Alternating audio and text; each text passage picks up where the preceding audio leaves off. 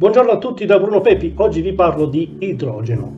Il bivio, le auto a idrogeno offrono un futuro migliore di quelle elettriche? In che modo un cristiano dovrebbe vedere l'ambientalismo? Le vendite di auto elettriche a batteria BEVS sono in aumento in tutta Europa e, secondo l'annuale Global Electric Vehicle Outlook, ogni settimana ne vengono vendute di più rispetto all'intero 2012 ma nonostante la crescente popolarità, la carenza di componenti chiave per le batterie, inclusi litio, nickel e cobalto, potrebbero minacciare l'approvvigionamento. Quindi è tempo di concentrarsi sull'energia basata sull'idrogeno?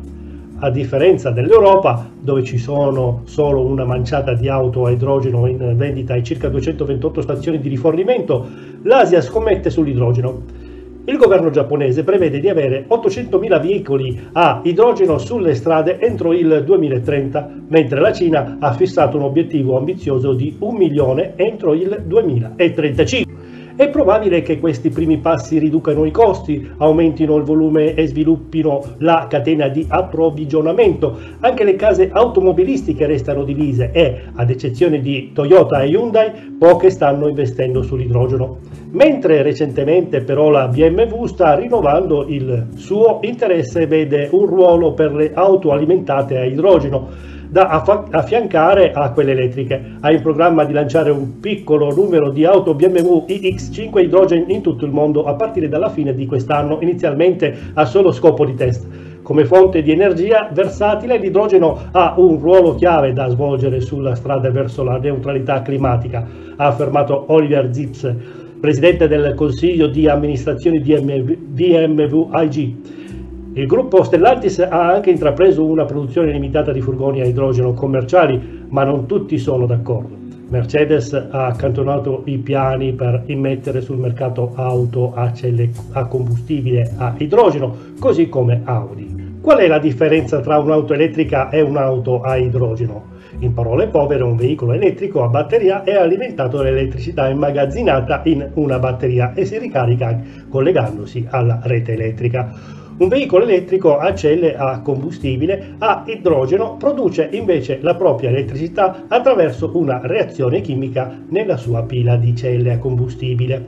Questa elettricità poi alimenta i motori per le ruote e l'unica emissione è il vapore acqueo. Le auto a celle a combustibile a idrogeno vengono rifornite in specifiche stazioni di servizio. Il bello di un'auto a idrogeno è che si può ricaricare nel tempo necessario per rifornire un'auto a benzina o diesel. Raggiunge un'autonomia simile e tutto quello questo producendo emissioni zero. Perché l'idrogeno non prende piede? L'idrogeno presenta una serie di sfide, dalla bassa efficienza a causa di elevate perdite di energia ai costi elevati. Il modo più pulito per produrre idrogeno è l'elettrolisi. Il processo di utilizzo dell'elettricità per dividere l'acqua in idrogeno è ossigeno ma è ad alta intensità energetica e l'efficienza è ben al di sotto del 100%. Nel momento in cui si trasporta l'idrogeno ad una stazione di rifornimento si sono verificate più perdite e, anche se è possibile bypassare la fase di trasporto, il costo dello stoccaggio è elevato. Si stima che quando ci si mette in viaggio e l'idrogeno viene convertito in elettricità nell'auto, viene utilizzato solo il 38% circa dell'elettricità originale. Infrastrutture scadenti, il punto chiave di vendita delle auto a idrogeno è che possono fare rifornimento in pochi minuti, ciononostante trovare un posto dove rifornire un'auto a idrogeno è molto difficile.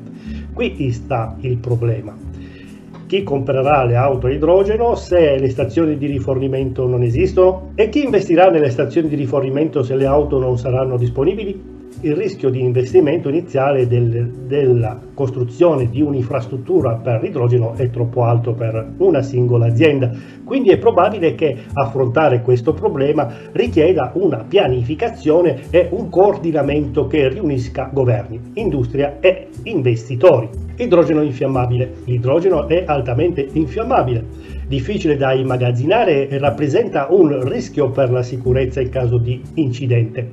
Tuttavia le case automobilistiche come Toyota insistono sul fatto che le auto elettriche a celle a combustibile sono sicure quanto i veicoli convenzionali.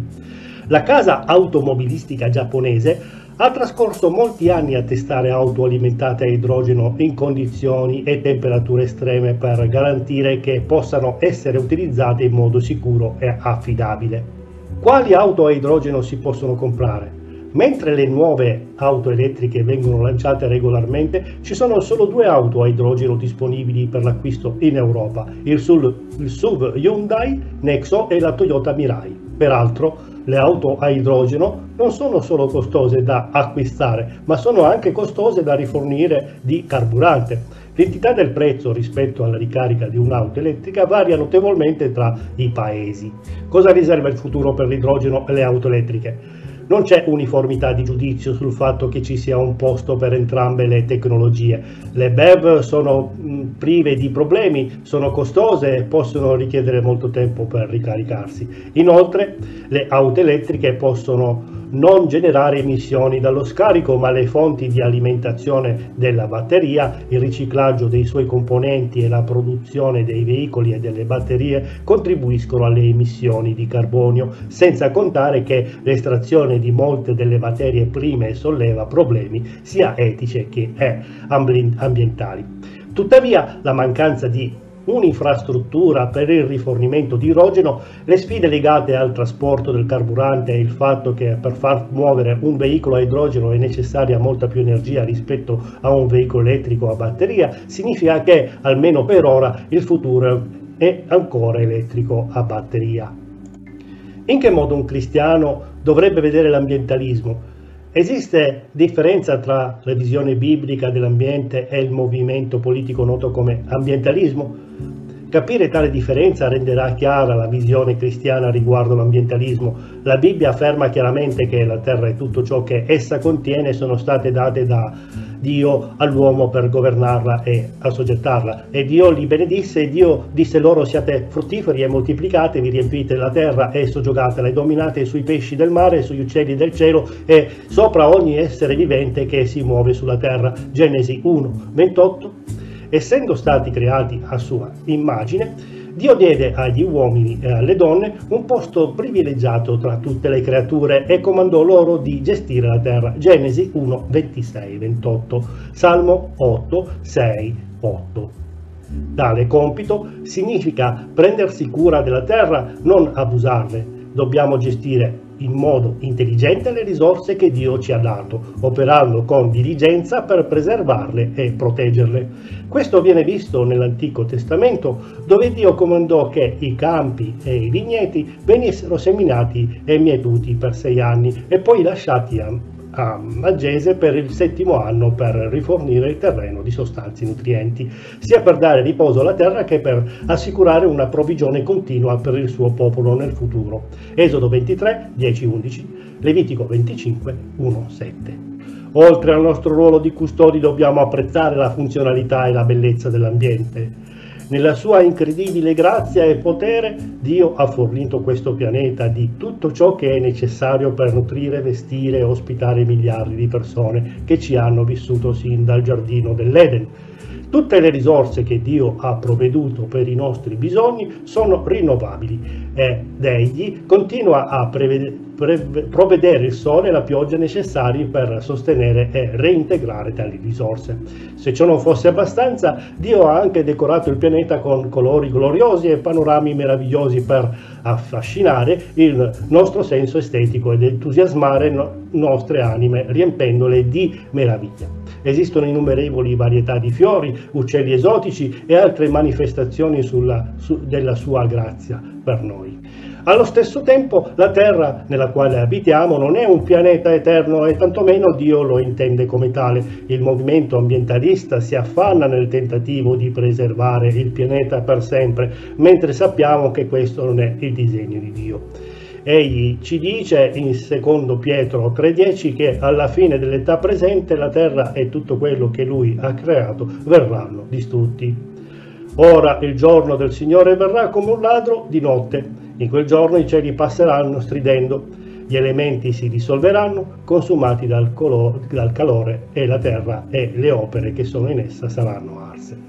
La terra fisica, naturale, della, nella sua forma attuale, con l'intero universo, verranno consumati e Dio creerà un nuovo cielo ed una nuova terra.